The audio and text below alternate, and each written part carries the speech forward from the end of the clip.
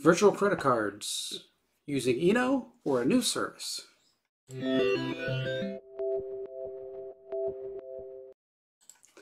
Hey there, this is Tom with Tom's Tech Show, and I've noticed in my YouTube uh, control panel that a lot of people are looking for this video I made on Capital One Eno. Now, Eno is a virtual credit card system, allows you to create cards that are linked to your master credit card and um, use those on websites.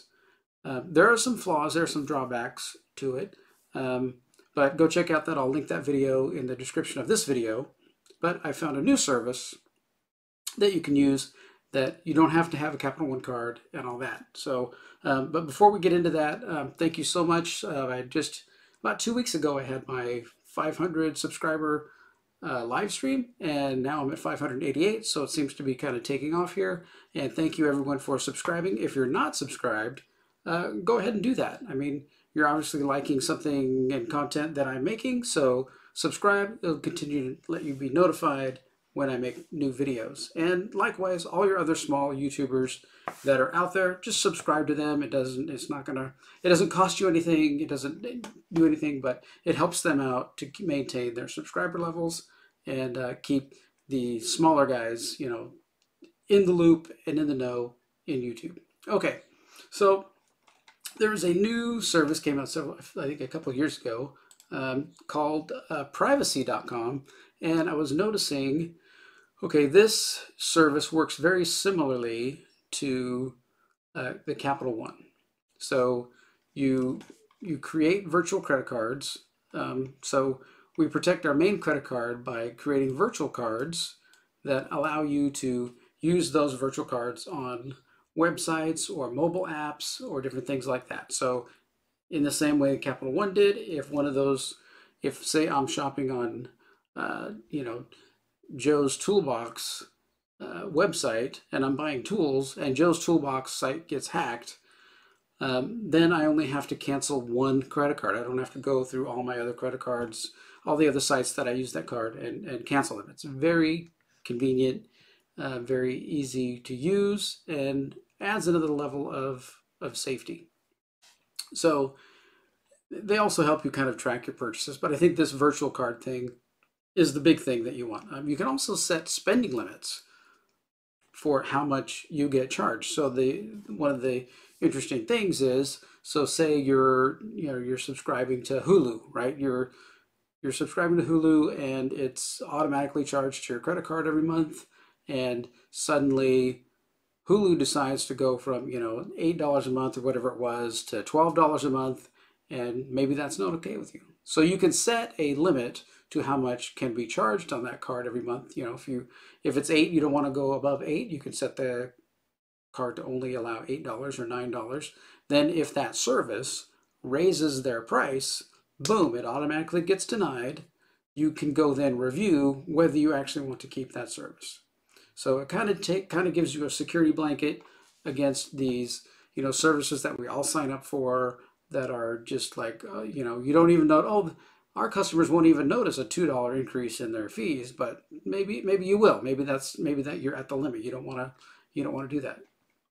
You can also create single use cards. So if you go to some crazed website that oh I need this off of Pinterest or or you know Shopify or something, but I have no idea who these people are, and you know I just want to buy this, but I want it to be secure. I don't want my card to be out there. You know, so you can create basically a one-use credit card number that allows you to buy what you need, and then boom, that credit card number can never be used again. Very handy. Uh, you can also close cards whenever you want. So if you were dealing with a service or dealing with some kind of uh, subscription or whatever, and you don't want to use that anymore, um, then boom, you can close that card, delete it, and not have to use it again.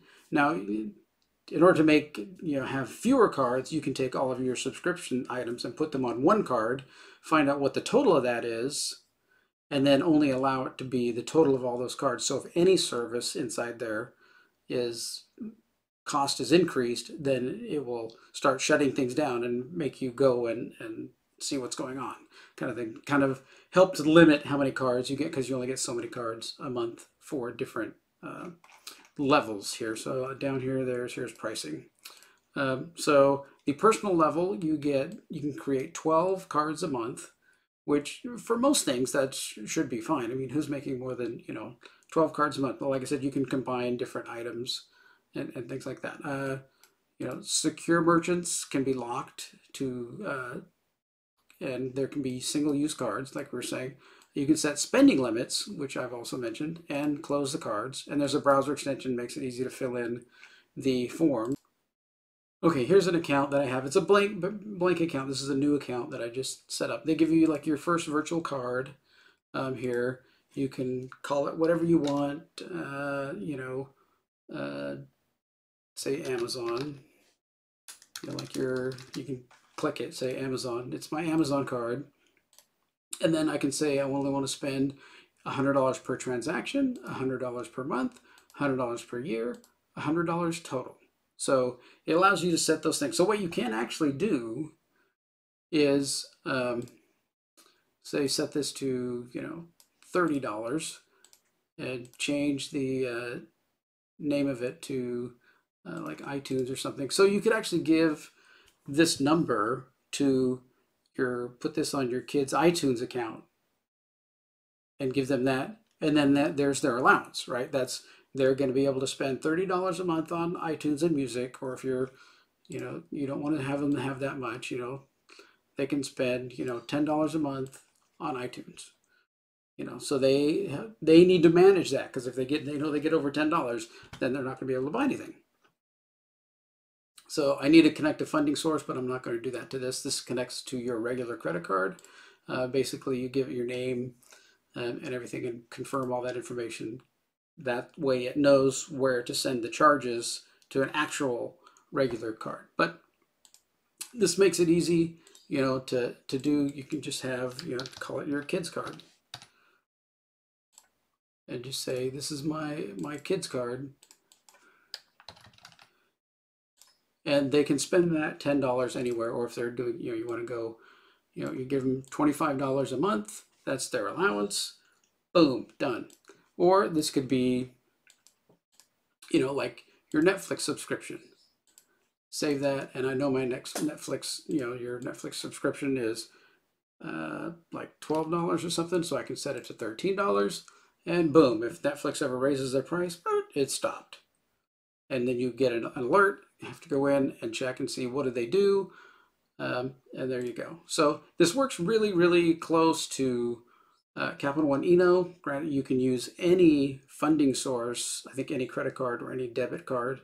Um, I would kind of watch it on debit cards. Uh, whether it gets to the limit of your debit card, you can drain your bank account probably. Um, but allows you to do kind of the same things that Capital One Eno does without having to have a Capital One card and it has some other nice things that you you can do like a kids card you know that you get them so allow have them to have so much money kind of an allowance on different things and the limit thing is really nice that it sends you alerts and stuff if things go over a limit all right so that's the other option to Capital One, which is privacy.com. I'll put a link down below. Uh, none of these people are sponsors. I don't have any sponsors. I tend to be self-funded by myself. So um, yeah, not I'm not promoting them in any way to get any kind of kickback or anything. I just know these services are out there and they're easy to use and they're very helpful and um, a lot of security built in for getting your card stolen. I've been in Mexico with a credit card using my card in Mexico and boom, I get a call. Oh, by the way, we've turned your card off. Uh, what? You know, so using virtual cards is, is a really handy thing to do. All right. Well, thanks for watching this. And uh, if you've got any other comments or suggestions uh, about Eno or privacy and which one you're going to choose, or if you're not going to go with that, um, either of them, I mean, then let me know why you're not going to pick one. All right. Well, thanks for watching this. Take care.